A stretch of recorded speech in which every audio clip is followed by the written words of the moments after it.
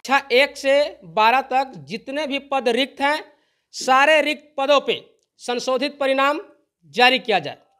शिक्षा विभाग माननीय अतुल प्रसाद जी से हाथ जोड़कर प्रार्थना करते हैं कि जो गलतियाँ हुई हैं उनको सुधारते हुए फिर से सप्लीमेंट्री रिज़ल्ट जो योग्य बच्चे हैं उनको जारी किया जाए जल्द से जल्द। नमस्कार आप देख रहे हैं न्यूज़ फाउंडेशन में हूँ आपके साथ तुम योग्य अभ्यर्थी शिक्षक संघ के जो लोग हैं आज प्रेस वार्ता किए थे। इनकी मांगे सरकार से लगातार ये मांग कर रहे हैं। क्या है आपकी मांग?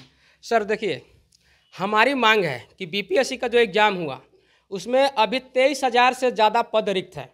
तो कक्षा एक से बारह तक जितने भी पद रिक्त हैं, सारे रिक्त पदों पे संशोधित परिणाम जारी किया जाए।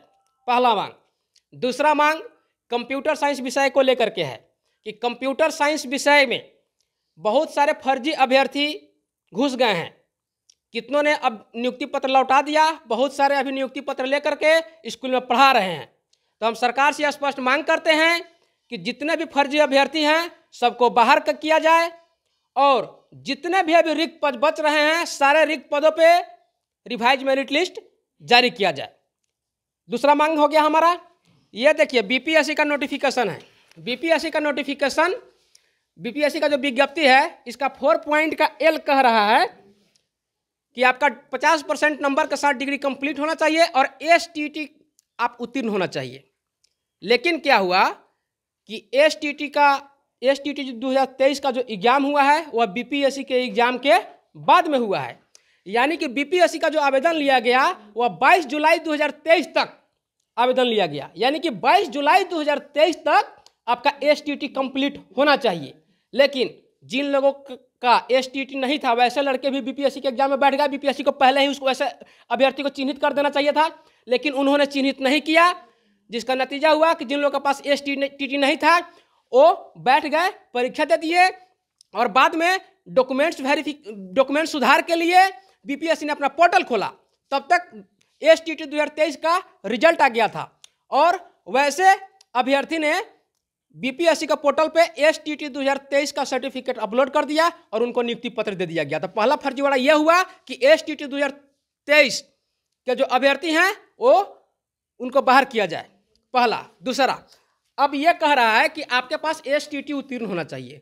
तो बीपीएससी के एग्ज़ाम से पहले एस टी टी हुआ था 2019 में। अब हम आते हैं यह एस टी टी का जो बी एस सी बी का जो विज्ञप्ति था, उस विज्ञप्ति पे आते हैं हम। तो ये विज्ञप्ति कह रहा है कि 50 परसेंट नंबर के साथ में आपका डिग्री पूरा होना चाहिए। और एस टी टी दो हज़ार उन्नीस का फॉर्म अप्लाई हुआ 24 दिसंबर 2019 तक। यानी कि 24 दिसंबर 2019 तक आपका शैक्षणिक योग्यता पूरा होना चाहिए। लेकिन जिन लोगों के पास शैक्षणिक योग्यता पूरा नहीं था, वैसे लड़कों ने एस टी टी के एग्ज़ाम में बैठ गए और 19 के बाद और 2023 के पहले यानी कि बीपीएससी की परीक्षा से पहले उनका डिग्री कंप्लीट हो चुका है।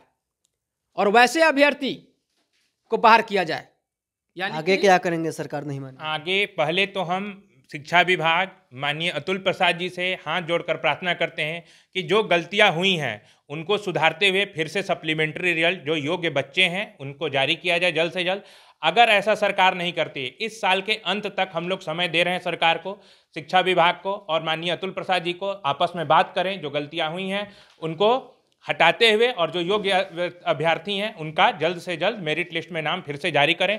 अगर ऐसा नहीं होता है तो जन, अगले साल के, प्रथम सप्ताह से हम लोग सत्य के लिए आग्रह करेंगे। जिस तरह महात्मा गांधी जी ने हमारे देश को आज़ादी दिलाई थी, न्याय के लिए लड़े थे, उसी तरह हम लोग भी अपने न्याय के लिए सब सत्याग्रह शुरू करेंगे।